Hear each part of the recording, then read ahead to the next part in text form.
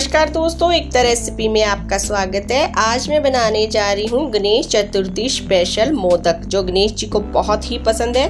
आप भी फ्रेंड्स एक बार इस तरह से मोदक ज़रूर बनाएँ और अपने गणेश जी को भोग ज़रूर लगाएँ।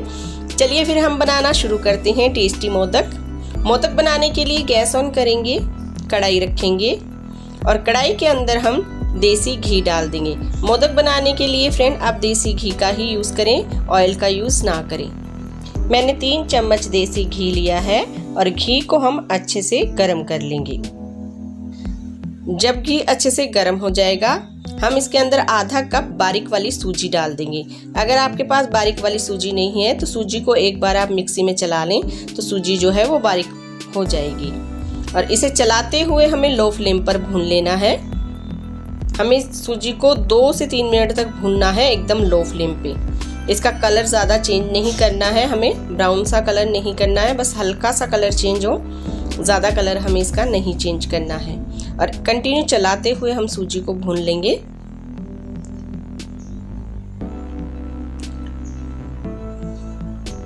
गैस का फ्लेम लो ही रखना है। अब मैंने एक गिलास दूध लिया है, कुछ काजू बादाम लिए हैं, ये ऑप्शनल है, और एक केला लिया है। काजू बादाम का हम पाउडर बना लेंगे। काजू बादाम आप काट कर भी डाल सकते हैं, अगर आप डालना चाहते हैं तो। देखिए, मैंने पाउडर बना लिया है, इसे एक बाउल में निकाल लेंगे।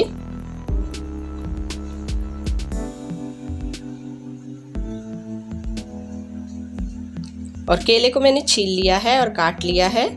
एक केला लिया है मैंने, और इसके अंदर हम एक कप ही दूध डाल देंगे।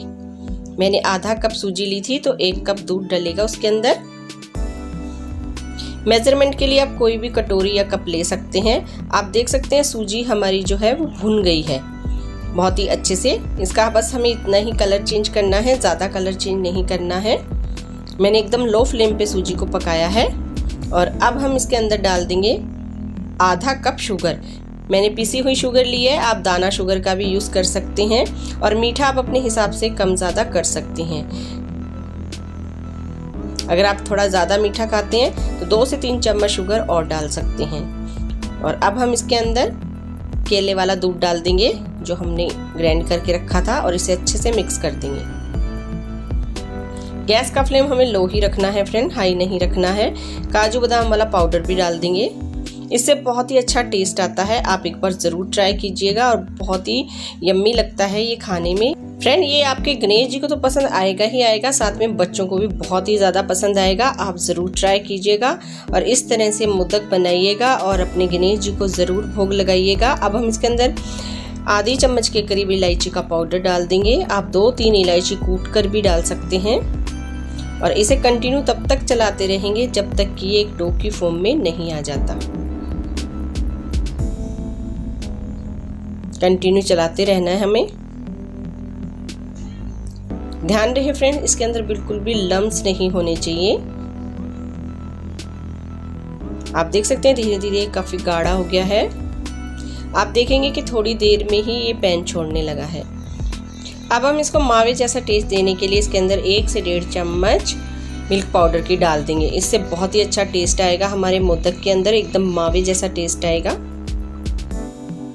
यहाँ पे आप एक चम्मच देसी घी भी डाल सकते हैं। अगर डालना चाहते हैं तो कोई ज़रूरी नहीं है, डालना चाहें तो डाल सकते हैं। देखिए, एकदम डो की फॉर्म में आ गया है और पैन भी छोड़ने लगा है।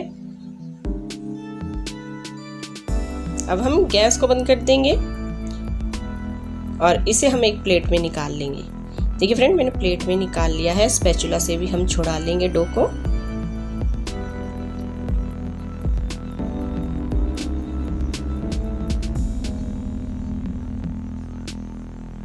और इसे हम फैला देंगे ताकि ये थोड़ा ठंडा हो जाए।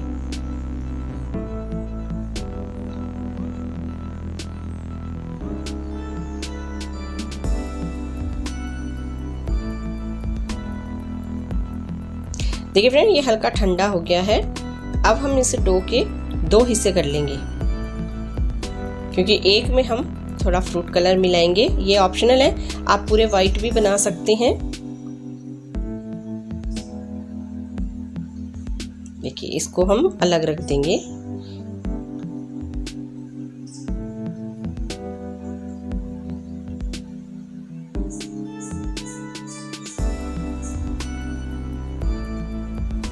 अब हम इसके अंदर दो पिंच के करीब फ्रूट कलर मिला लेंगे। मैंने येलो फ्रूट कलर लिया है।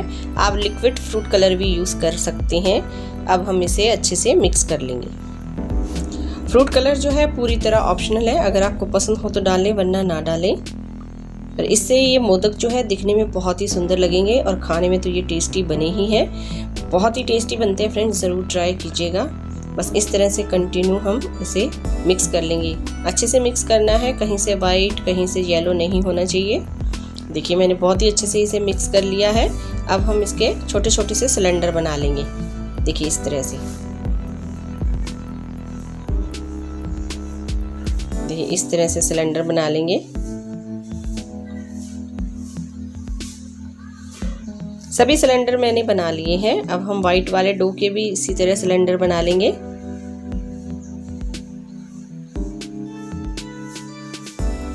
देखिए इस तरह से। ये एकदम ठंडा हो गया है। देखिए मैंने दोनों के येलो और वाइट दोनों सिलेंडर बना लिए हैं। अब हम लेंगे मोदक मोल्ड, ये बाज़ार में बहुत ही आसानी से मिल जाता है। मैंने इसे ग्रीस कर लिया है। अब हम येलो वाला पार्ट लेंगे एक।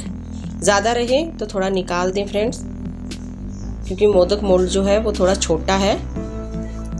फ्रेंड्स, इस मोदक को आप अपने हिसाब से बना सकते हैं। येलो पार्ट नीचे वाइट पार्ट ऊपर भी दे सकते हैं। ये डबल शेड का मोदक जो है, दिखने में तो सुंदर लगेगा ही, खाने में भी बहुत ही टेस्टी बनता है। आप एक बार इस तरह से मोदक ज़रूर बनाएँ, बहुत ही आसान है। मोल्ड के अंदर मोदक बनाना, देखिए, बहुत ही सुंदर हमारा मोदक बनकर बिल्कुल तैयार हो गया है, कितना सुंदर दिख रहा है। इसे हम प्लेट में रख देंगे और इसी तरह हम दूसरा मोदक भी बना लेंगे। थोड़ा ज़्यादा रहे तो निकाल दें फ्रेंड्स, क्योंकि मोदक मोल्ड जो है, थोड़ा छोटा है। और इस तरह से हम बना लेंगे इसे। बहुत ही आसान तरीका है, मोल्ड के अंदर बहुत ही जल्दी मोदक बनकर तैयार हो जाते हैं। बिल्कुल भी मेहनत नहीं लगती है। देखिए, तैयार हो गया है। और हमें सभी मोदक इसी तरह बनाकर तैयार कर लेने हैं। और फ्रेंड एक बार तो ज़रूर ट्राई कीजिएगा और अपने गणेश जी को इस तरह से मोदक बना के ज़रूर खिलाइएगा। ये जितने दिखने में सुंदर लगते हैं, खाने में उतने ही टेस्टी है। देखिए, मैंने तीसरा मोदक भी बना लिया है। सभी मोदक हम इसी तरह बनाकर तैयार कर लेंगे। देखिए फ्रेंड मैंने सभी मोदक बना लिए हैं। अब हम इनसे सर्व कर लेंगे। देखिए कितना सुंदर हमारा मोदक बनकर तैयार हुआ है।